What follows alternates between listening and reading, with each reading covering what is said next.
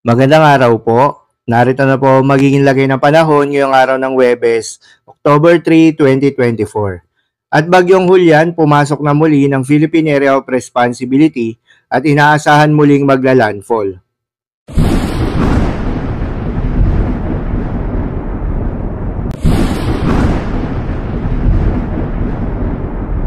Sa kasalukuyan na tayo sa pag-asa, si Bagyong Hulyan niya ay nakapasok na muli ng Philippine Area of Responsibility at inaasahang magla-landfall sa may southern Taiwan.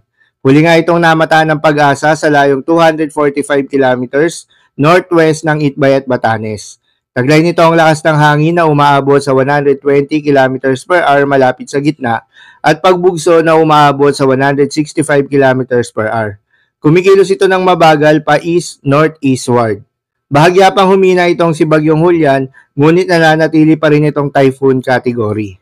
Para naman sa magiging lagay ng panahon ngayong araw ng Webes, may nakataas pa nga rin tayong tropical cyclone wind signal number 1 sa may Batanes. Dahil dito asahan pa rin yung maulan na panahon na may pagbugso ng hangin. Posible ang mga pagbaha o pagguho ng lupa dahil sa katamtaman hanggang sa malalakas at paminsang-minsang matitinding buhos ng ulan. Habang sa Ilocos Region, Cordillera Administrative Region, nalalabing bahagi ng Cagayan Valley at Central Luzon, ay asahan naman yung maulap na kalangitan na may kalat-kalat na mga pagulan at thunderstorms. Dulot naman yan ng trough or extension nitong si Bagyong Hulyan. Posible ang mga pagbaha o pagguho ng lupa dahil sa katamtaman hanggang sa kung minsan ay malakas na pagulan. Habang sa Davao Region, Soxargen at Caraga, asahan rin yung maulap na kalangitan na may kalat-kalat na mga pagulan at thunderstorms. Dulot naman yan ng easterlies o yung mainit na hangin galing sa karagatang Pasipiko. Posible rin ang mga pagbaha o pagguho ng lupa dahil sa katamtaman hanggang sa kung minsan ay malakas na pagulan. Habang sa Metro Manila at nalalabing bahagi pa ng ating bansa, ay asahan naman yung bahagyang maulap hanggang sa maulap na kalangitan na may kalat-kalat na mga pagulan o thunderstorms. Dulot naman yan ng mga localized thunderstorms. Posible rin ang mga pagbaha o pagguho ng lupa during severe thunderstorms. Para naman sa magiging track nitong si Bagyong Hulyan, inaasahan niya na magla-landfall ito sa may southwestern Taiwan ngayong hapon. Patuloy itong humihina dahil sa malamig na katubigan sa paligid nito at paparating na northeasterly wind flow.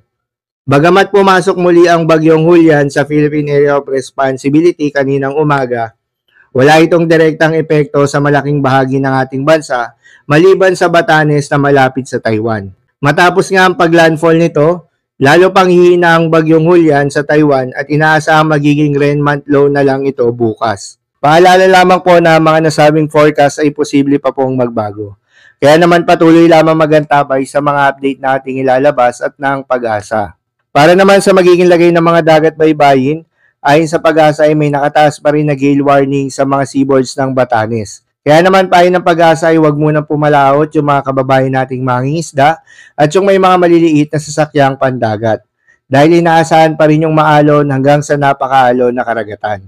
So yun lamang po para sa lagay ng panahon ngayong araw ng Webes. Keep safe everyone.